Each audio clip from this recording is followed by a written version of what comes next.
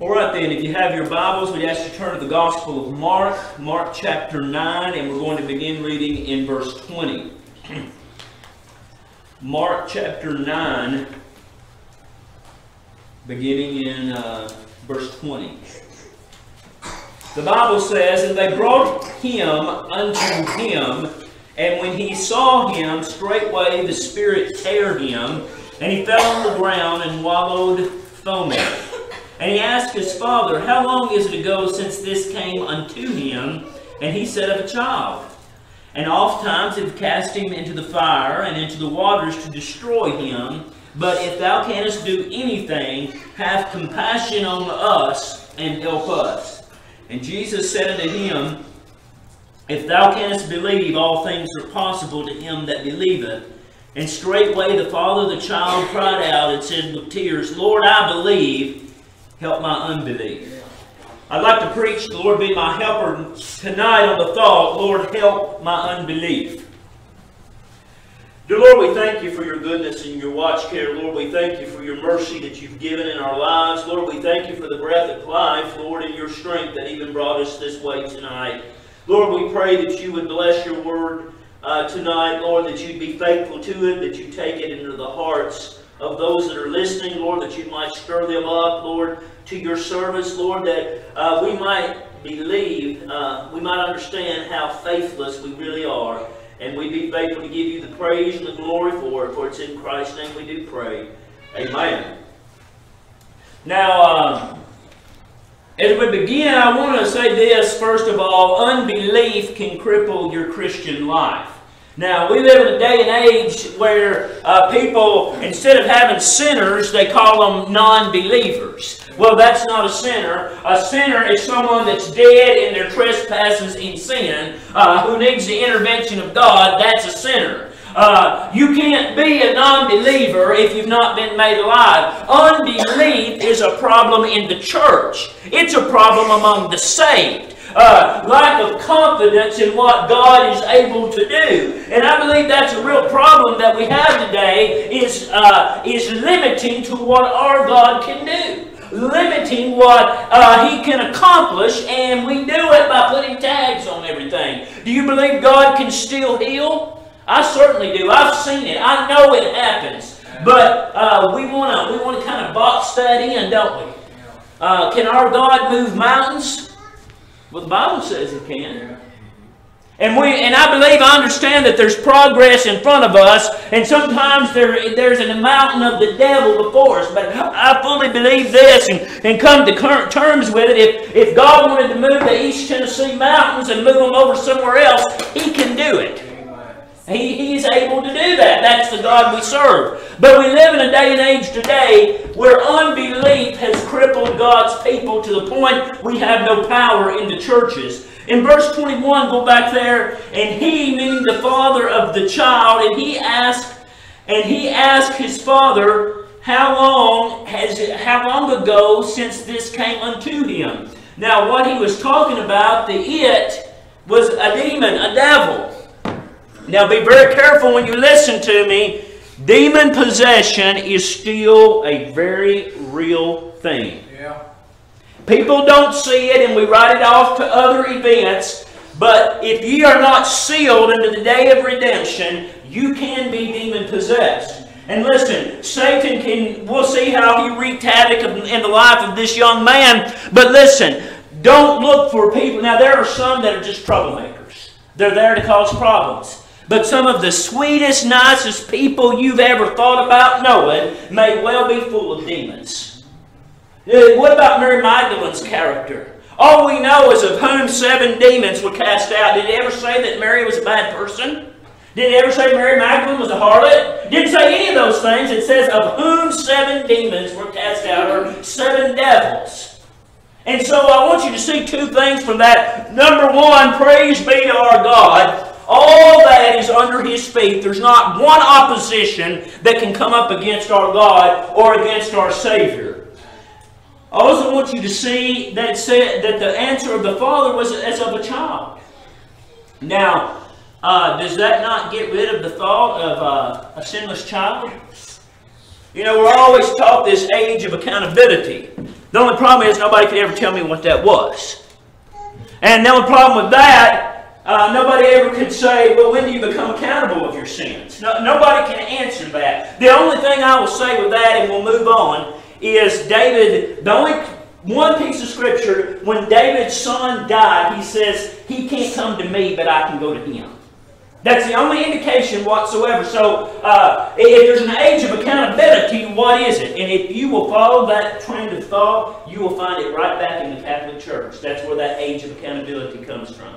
So, just extra information for you tonight. But I do want you to see this was a child, and he was demon possessed. He was devil possessed. The devil wreaked things in his body. Now, with that said, what does devils always like to do? They like to destroy. They like to upset. They like to cause problems. They like to. Our God is an orderly God. That's why he said in, in 1 Corinthians 14, do ye everything decently in order. He's always been very orderly in the way he does things. So demons are there to mess up. Demons are there to disturb. Uh, demons are there to break the routine. That, that, that, that's their, that, that is one thing that they do. And so we see that this young man this child was demon possessed. Verse 22 Oft times he cast him into the fire and into the waters to destroy him. Now, don't forget this. What the devil wants to do is destroy. He, he is called the destroyer. He is out there to bring us down. And it was his desire to take the life of this child as well. But if thou canst do anything, have compassion on us and help us. Now, two things there. First of all, he asked of the Lord Jesus Christ, have compassion on us. Uh, in the Gospel, um, in the Epistle of Jude, I think it's verse 23, it says, Of some have compassion, making a difference. Now, the difference between love and compassion, because you know your new versions uh, will change that word around. There's a di difference between compassion and love. Did you know that? Love is just an affection. Compassion, you actually do something with it. If you love somebody, you will do certain things. You, you, you will go, if your love for the Lord Jesus Christ don't bring you to the house of God, there's something wrong. If your love for the Lord Jesus Christ doesn't get you out there and share the gospel, there's something wrong. That's not much love. Compassion is what's important. Uh, it will move you and motivate you to do more than the regular, more than the routine. And so, as he comes before this man, he says, Have compassion. In other words, love us with some kind of action and help us. Now, I want you to see that this man had been brought to rock bottom. Now, the problem is today, the Lord's people are prideful. Say what you will, the Lord's people are prideful. We were, uh, me and Brother Downs were talking before service time. And they're prideful over things that's not necessarily even in the Bible. But they're proud of what they've taught. You know what that is? It's Judaism. Uh, that's being a Pharisee. Is it not? They, they were prideful over how many times that they washed their hands throughout the meal. They were prideful in the things that they done. They were prideful in what they were accomplishing. This man was out of pride. He was done with it. And we need to get that back to that as a people. You want to see God do something? Get rid of your pride. You want to see God move? Get rid of your pride. You know, you know, uh, uh, we need we need to set our uh, our selfness aside and just do what well, the Lord would have us to do. And, and, so we see that this man had come to the end of that point with his son. He just knew that he needed help that he didn't have in of himself. Verse 23 And Jesus said unto him, If thou canst believe, all things are possible. Now, that's easy to read, harder to go with. it. Now, you get that. If you believe, all things are possible. And don't start boxing that up. All things are possible. Do you believe if, if the Lord God so wanted, we could arrive at New Testament Baptist Church and have a new wing out this way on, on uh, next Sunday morning? I believe it. I don't, I don't know how it would be possible, but I know we could do it. And so you say, well, that's foolish. Well, you're the one limiting your belief, not me.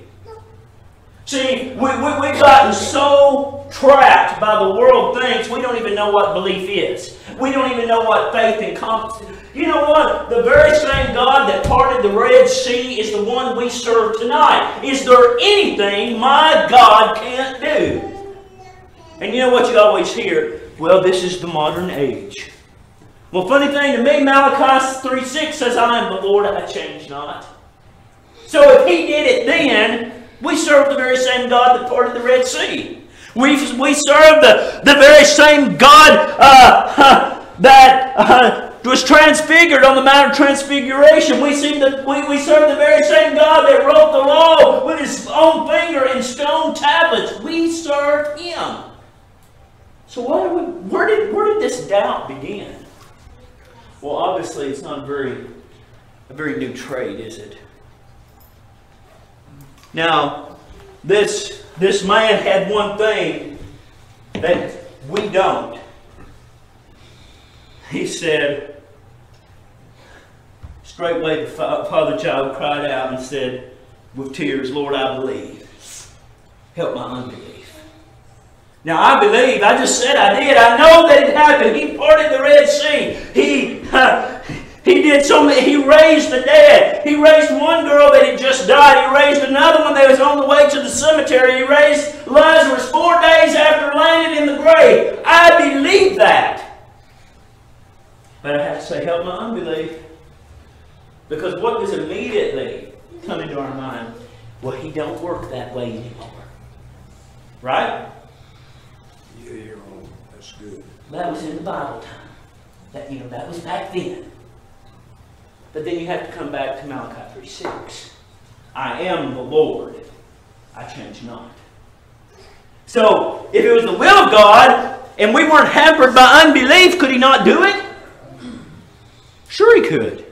Uh, I've seen miraculous things in my short ministry. I want to see more. And, and those of you that were here when the Lord helped us build this building, well, I'll say this much. The Lord built this building. All the miraculous things that happened, uh, a handful of people, maybe 20 of us, uh, eight men, uh, Adam and uh, Matthew were just boys.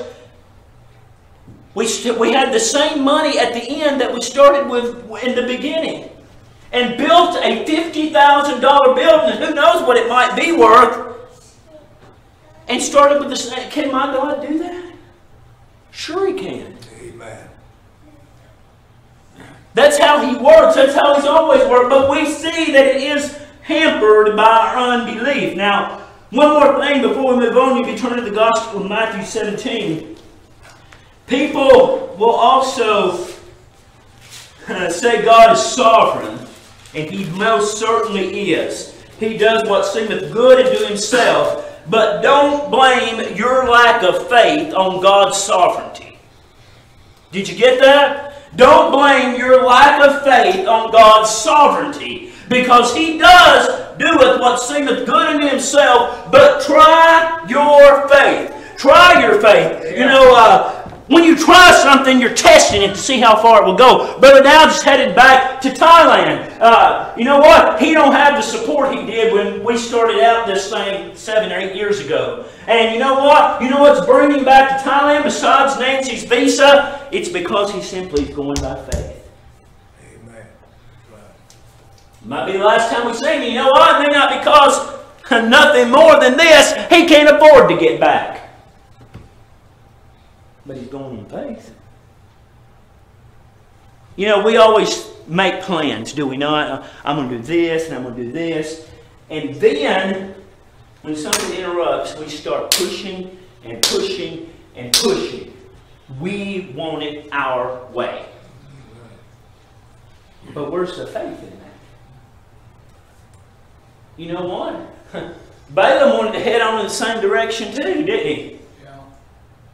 Had to get a sermon from an ass to know where he was wrong. He wanted to keep pushing, did he not?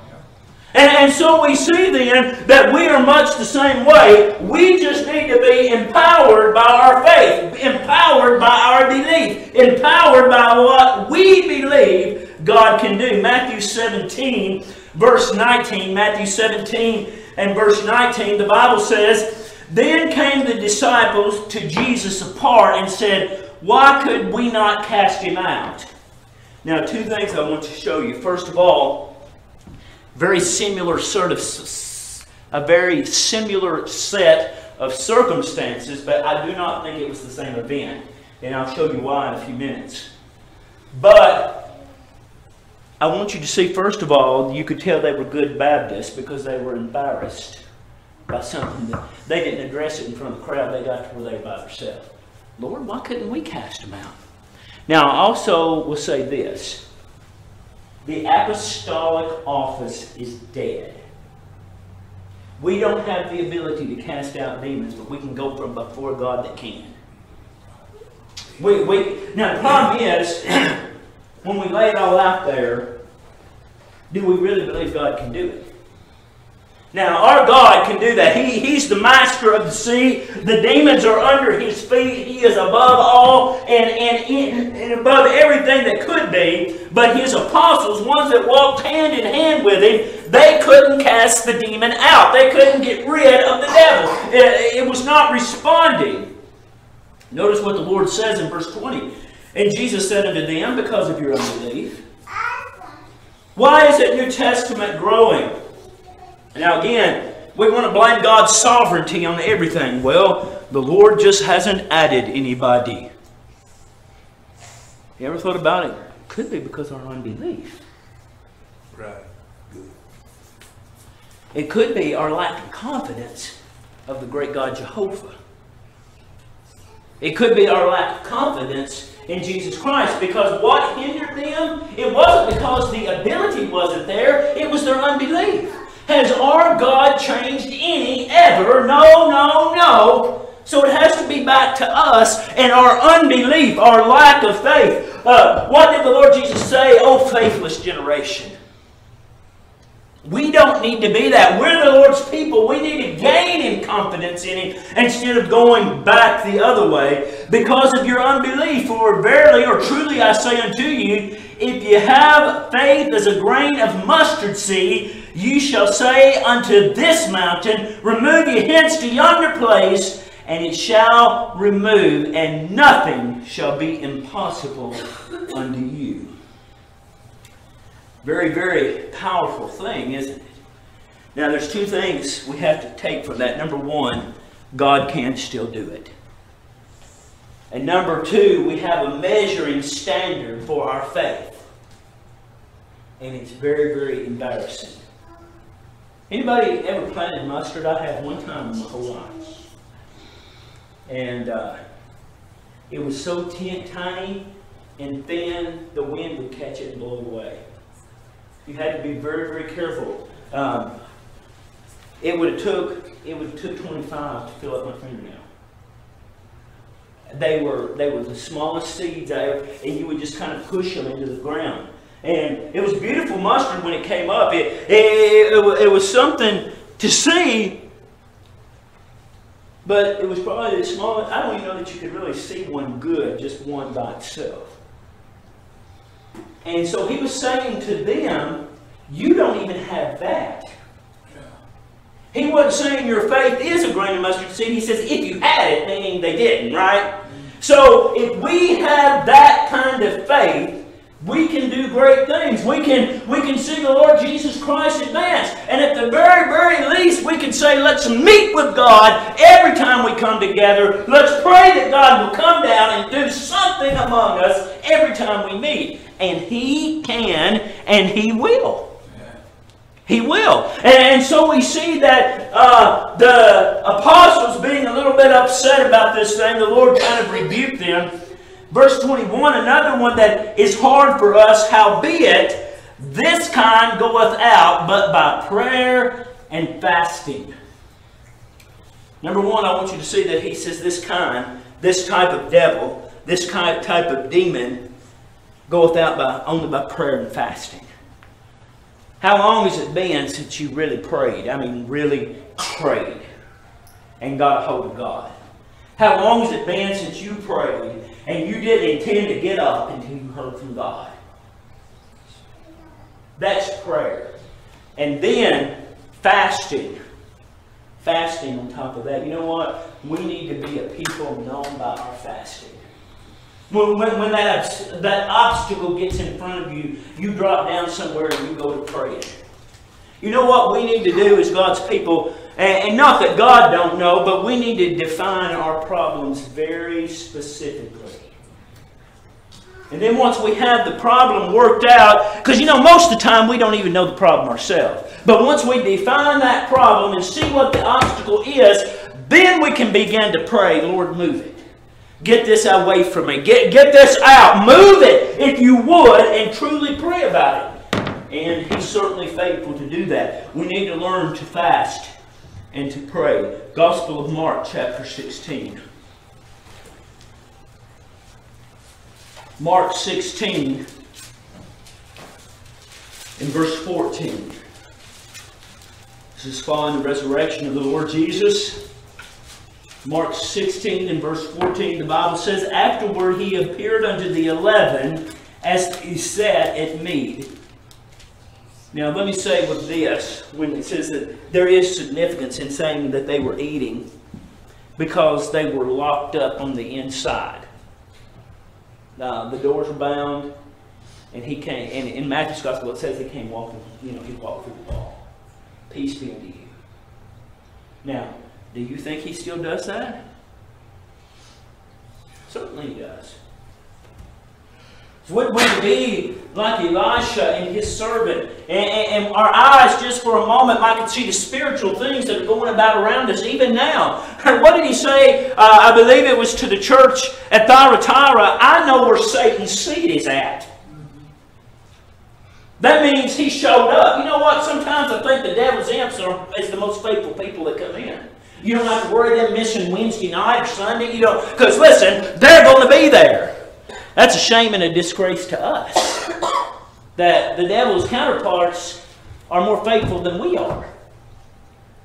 And so we see then that these, uh, we, we see that he came through, he was a spiritual being, he came in, and he upbraided them for their unbelief and hardness of heart. Now, those two always accompany one another. I want you to see, first of all, he upbraided them or corrected them huh, for their unbelief. Now, were they all saved folks? I think they were. Thomas was out of, I mean, excuse me, Judas was out of the picture now. I believe he had his 11 apostles that were the real deal and he upbraided them for their unbelief. Now, what we need today is be upbraided for our unbelief. When, when we say, oh, that's what it was, that's what it said to the church back then, but in the modern day, you can't take it just like that. You know what that is? That's, that's unbelief. That's saying, hey, this ain't true. Uh, this is not, it, it, says that, you know, I've heard people even say this from people, that's what it says, but it's not what it means. Then why does it say that? Why is it presented that way if that's not what it means? I, you know, they always say that and I never can quite understand it because they don't give any explanation on it. But I will say this believers, well, I'll say this the redeemed can have a problem with unbelief. The redeemed can have a problem with unbelief. And I know I do. And so we see then, we see then that they were upbraided for their unbelief. And then what's the next one?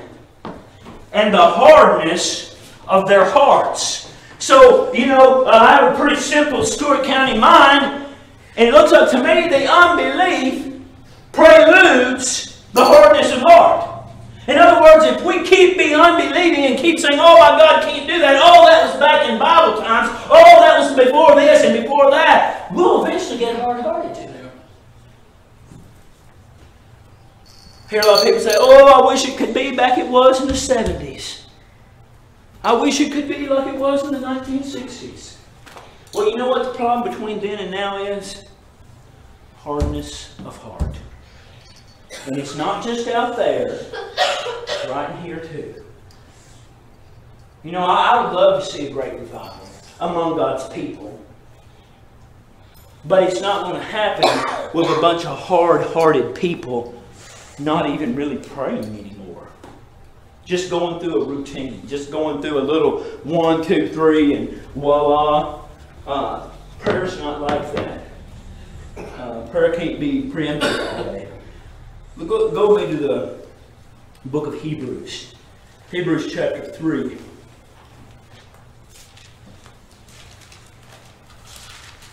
Hebrews chapter 3, verse 14. Hebrews chapter 3, verse 14. I personally believe Paul to be the writer and writing to the first church at Jerusalem. For we are made partakers of Christ if we hold the beginning of our confidence steadfast unto the end. Now, Baptists typically don't like if statements. But this body, this Bible is full of if statements. The reason we don't like them, we want to blame God's sovereignty and everything on grace. That makes us that we don't have any, any responsibility, right? But I want you to see the text of this. It, it, it's very, very clear. For we, for it, for we are made partakers of Christ if we hold the beginning of our confidence steadfast unto the end. Now, let me tell you that in very easy terms. In other words, if, if you're not steady, there's no reason to believe that you've been born again. You know who people I have confidence, and I've preached a lot of funerals, and the ones I have confidence when we them in that ground is the ones been steadfast to the end. And we about got so far as Baptists, they can live like a dog from one person to the next person, be a pothead and a smoker and a drinker. And when they when they come down, some little uh, first start little pastor come up, oh, he made a profession in, in 1962. Well, so what? What's happened since 62? Good. We, we, we need, and so we do see a big if statement. And then he says in verse 15, while it is said to, today, if ye will hear his voice, harden not your hearts as in the provocation. So we can't harden our hearts. For some, when they had heard, did, did provoke, howbeit not all of them that came out of Egypt by Moses. Now I will say this, he said they all didn't harden the heart that came of Moses, Moses, but most of them did. You know how many didn't get hard-hearted? Two. The rest of them died, did they not? We had two that came out. And you know, everybody gets, oh, well, you know, it's such a bad day. You don't see nobody in church. Well, can you imagine out of four and a half million people, two make it to the other side? And I know there were some children, but of those that left, two adults made it, Caleb and Joshua. The rest of them died in the trip. And so we see then, it would require us to look at our faith to see what to see what our faith does for us, to see what our faith makes us do.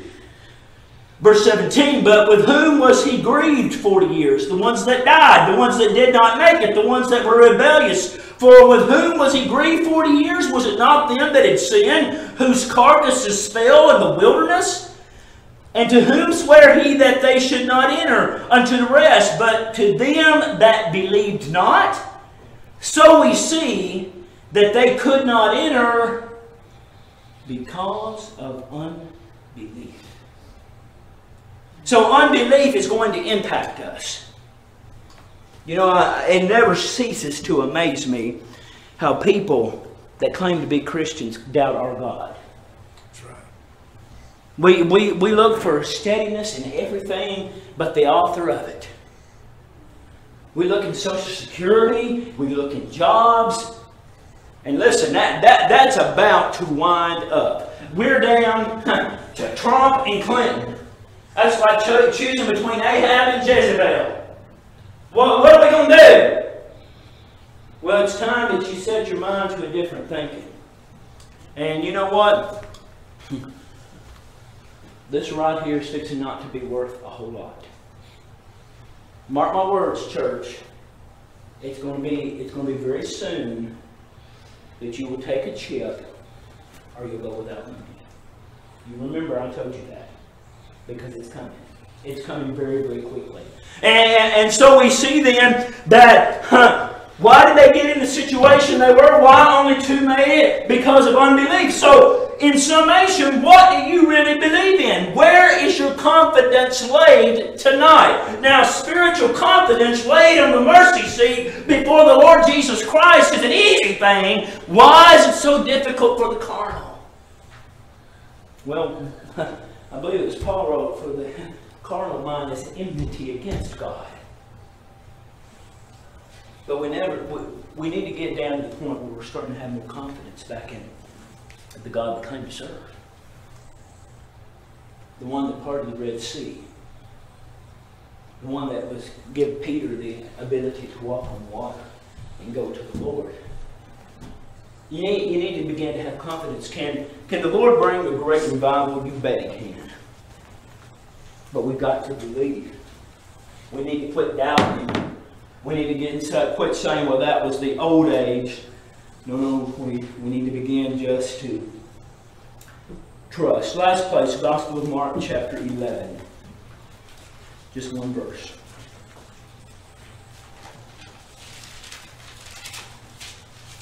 Mark 11, verse 23. The Bible says, For verily or truly say I unto you, that whosoever shall say unto this mountain, Be thou removed, and be thou cast into the sea, and shall not doubt in his heart, but shall believe that those things which he saith shall come to pass, he shall have whatsoever he saith that he saith. Therefore say unto you, what things soever ye desire, when you pray, believe that ye receive them, and ye shall have them. Now, I've seen that spiritualized from here to Clarksville. But you know what? I believe it's real. Now, I will say this, because the Bible says it in a very near scripture. He does know what's good. And I'm not saying, oh Lord, please send me a million dollars and jumping up and running for a million dollars. But I do believe this. Every man that God ever sustained, he did it one day at a time. Amen. Did you ever think about that? In fact, Elijah only got one meal at a time. He got one in the morning, one in the evening. The Hebrew journeyers got one meal a day. I mean, they, they received it in the morning and they ate it and they got some the next morning. And they were able to gather enough just for the day. So I'm not saying that you're going to be wealthy. I'm not saying you're going to be millionaires. But I am telling you to put your faith and confidence in the Lord Jesus Christ. Why would you trust Him with your soul and not trust Him with your life? It's good. Foolhardy thinking, is it not? I believe He can still do what He's always done.